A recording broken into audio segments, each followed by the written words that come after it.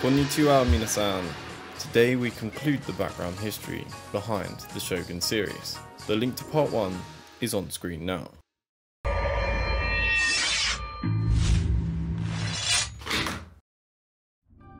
Toyotomi Hideyoshi has succeeded where his master failed, victoriously uniting the warring daimyos of Japan. His rivals have either sworn their allegiance or they have been destroyed. Despite this now fledgling peace, Hideyoshi must now decide what to do with this nation of warriors. Japan has been at war for over a century. By this time, several generations who have known nothing but warfare. Hideyoshi had successfully ended this nightmare for Japan, but with a society who knew nothing but war, the question is, what do you do with this enormous military machine who now has no enemy?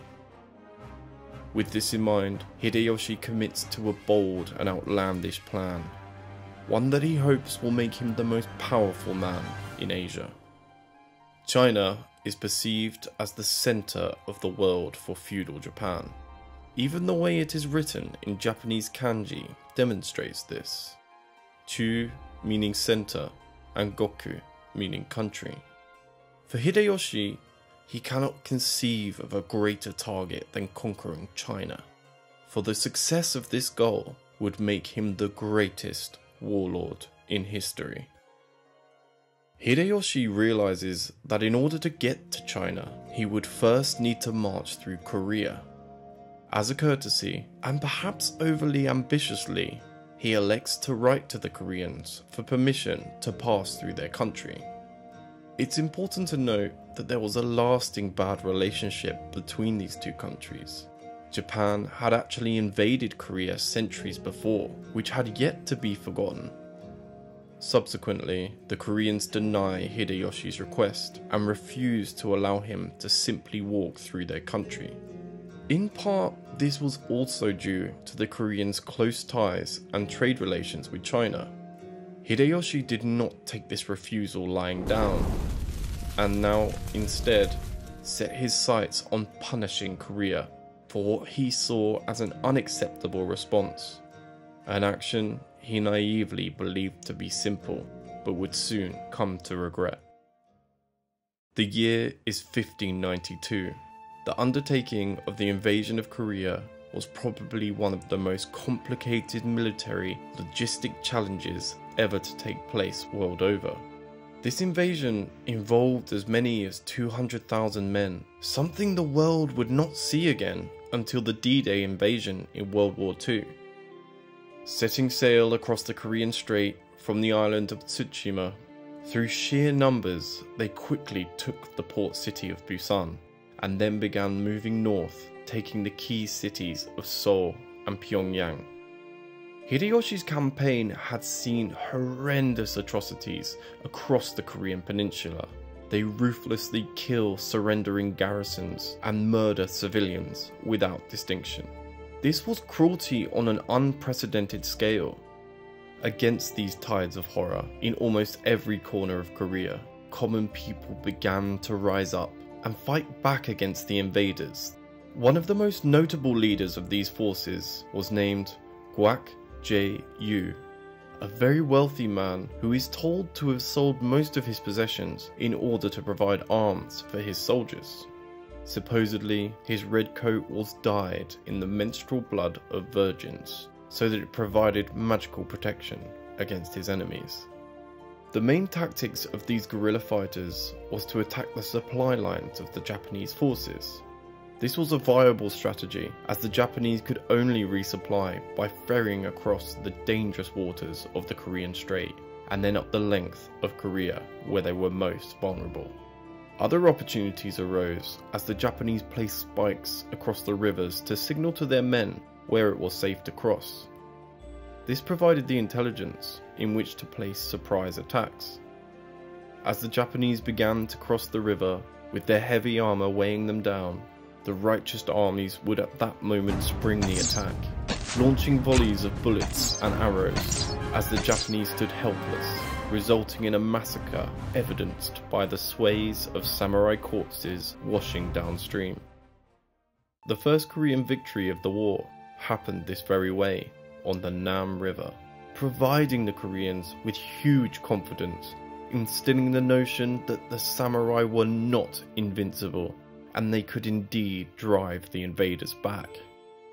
The domino effect of this victory spurred even more ordinary people to join the cause, and the Japanese faced a country of total warfare. Night attacks and arson decimating their camps, everything they could lay their hands on in terms of military ingenuity.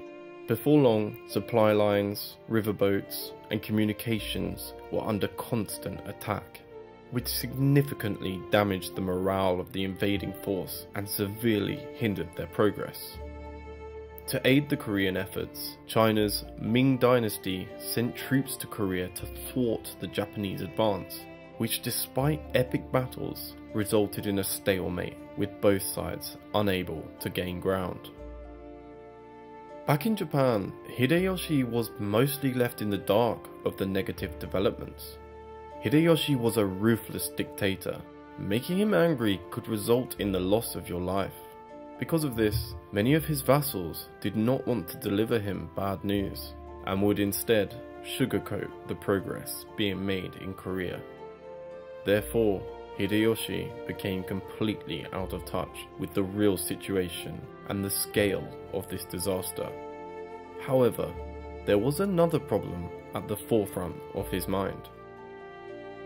Hideyoshi had dreams of creating a great dynasty but currently had no heir to call his own. In order to continue his lineage, he would need a successor, without which his legacy would come undone. At this point, his wife, Lady Nene, had not had any children and was now too old to become pregnant. He did, however, have hundreds of concubines in Osaka, one of which he rationalized could produce him a son. In steps Lady Chacha, Hideyoshi's favorite concubine. She was also the niece of Oda Nobunaga, the man who Hideyoshi had taken over from, which would provide their child much more legitimacy. After years of trying, Lady Chacha gave birth to a son, but the boy would unfortunately die soon after, leaving Hideyoshi again without an heir. Feeling more and more isolated, and with the Korean War still raging, Becoming desperate, Hideyoshi announced his nephew as his heir. But this decision would not last long. A surprise was in store for Hideyoshi. Again, Lady Chacha gave birth to another son who would live. He was named Hideyori. Having created another predicament of the heir he had named and the son he now wished to be his successor, Hideyoshi forced his nephew into exile. Although still feeling this did not protect his new son's future, he resolved in executing his nephew, alongside 30 other members of his close family. Meanwhile, the Japanese forces in Korea are still bogged down, fighting a seemingly unwinnable war, lacking food and supplies, and combating not just guerrilla fighters, but also illness and disease. Unaware of the true nature of his army on the ground, Hideyoshi continues to order his men to advance. The generals in Korea, receiving increasingly bizarre orders from Japan, begin to realize that Hideyoshi's mental state had become more and more unstable. With tens of thousands of Japanese lives lost and countless more Koreans, the disastrous situation leads the commanders on the ground to begin opening up negotiations to try and reach a resolution. The issue here is Hideyoshi believed that he was winning the war and therefore had a strict set of terms in which he would be happy to withdraw. The minimum required Korea to be divided into two spheres of influence, a southern state presided over by Japan and a northern state by China. Moreover, he sought for the leader of the Ming dynasty to deliver one of their own daughters to Japan to become his concubine. There was no way the Ming emperor was going to deal on these terms. After all, the truth being he had basically lost in Korea. The Ming Emperor sent an envoy to Japan with very different terms.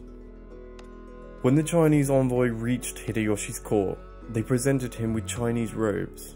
Believing it to be a gift of submission, Hideyoshi was at first pleased until he unravelled the letter from the Chinese emperor. The letter outlined that the Ming dynasty recognised Hideyoshi as the king of Japan and as such welcomed him as their vassal.